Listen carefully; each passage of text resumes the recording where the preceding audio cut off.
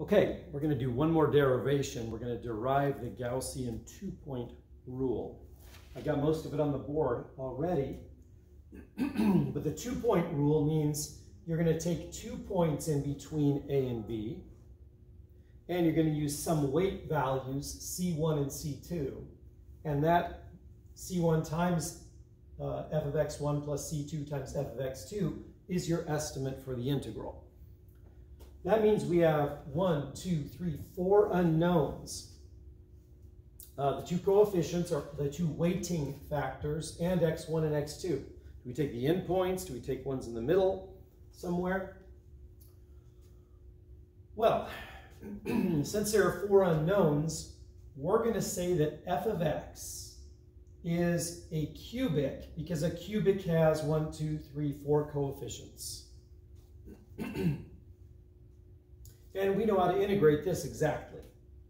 So the integral of f of x, this generic cubic, is, and I integrated it and plugged it in from uh, the limits a to b, and you get a0 times b minus a, a1 times b squared minus a squared over 2, plus a2 times b cubed minus a cubed over 3, plus a3 times b to the fourth minus a to the fourth over 4. Okay, now we are going to go back to the two-point formula where we want this integral to be c1f of x1 plus c2f of x2. And using our function up here, we get c1 times f of x1 I left off the subscripts there.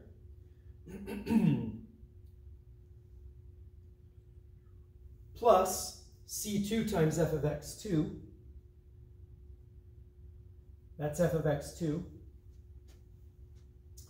And that gives us, um, I did the algebra really quickly. And I isolated, I got a0 times a coefficient plus a1 times a coefficient, plus a2 times a coefficient, plus a3 times a coefficient. So now we have two representations of the integral. And all we're going to do to figure out what C1, X1, C2, and X2 are, are, like I said over here, equate the coefficients of A0, for example, so set C1 plus C2 to B minus A. Set C1x1 plus C2x2 equal to B squared minus A squared over 2. Set, trying to do something different each time. Under the squiggle is the coefficient of A2. And then the coefficient of A3 you would set c1x cubed plus c2x cubed equal to this. You get four equations. And when you solve them, you might get multiple solutions, but choose any appropriate one. Basically, what I'm saying is if a solution comes up with x1 or x2 being outside of AB, throw it away. And if you equate the coefficients, and I'm not going to write it out and do all of the linear algebra,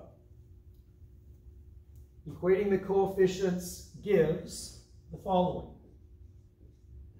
C1 is equal to B minus A over 2. And C2 is what as well. C1 and C2 are half of the interval width, each one of them. Now x1 and x2, a little more complicated.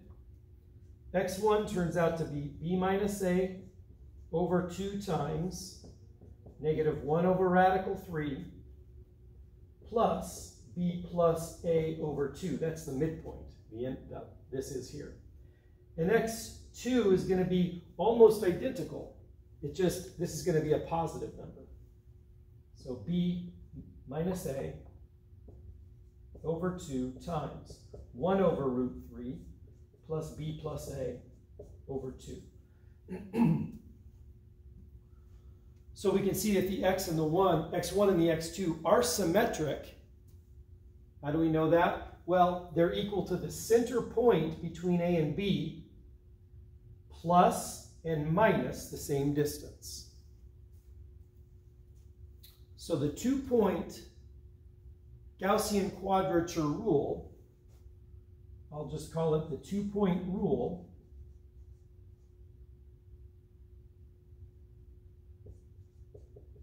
is the integral of f of x dx is approximately equal to c1 f of x1 plus c2 f of x2 um, from a to b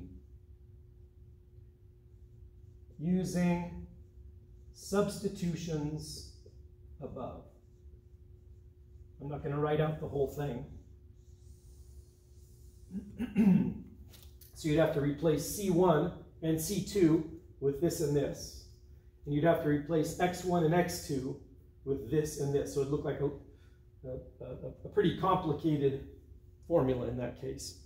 And any integral from A to B that is either linear or quadratic or a cubic, so degree at most three, this is going to be exact. Um, and then it'll be approximation for anything of degree four or greater.